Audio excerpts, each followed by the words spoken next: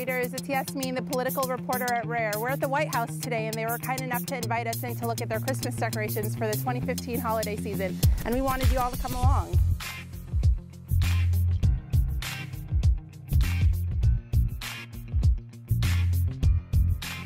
We're walking through the executive residence. So we're finally walking in and we're going to meet with Michelle Obama and look at the decorations. Come on in.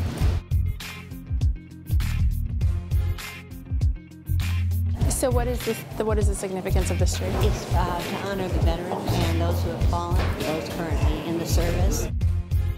So this is actually really cool. We're in one of the hallways of the White House where if you look up, there's a snowflake from each state where a child that's selected from each state wrote their hopes and aspirations on one of the snowflakes. There are actually snowmen outside that represent each state as well.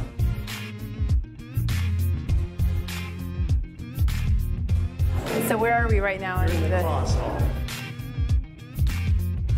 so we're currently in the White House Library room where they have these trees that are representing famous books and history.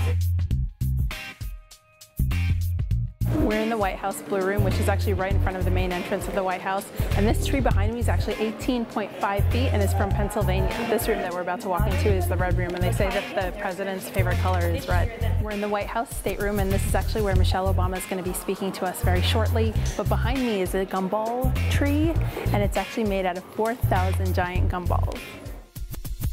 There's a lot of excitement here at the White House right now. The First Lady is actually behind us meeting with uh, children of military families. There will be hundreds of military families that are filtering through the White House to view the holiday decorations. Just finished seeing the White House holiday decorations and it was really fun. I hope you all enjoyed it as well. Until next time, it's Yasmeen with the Rare Media.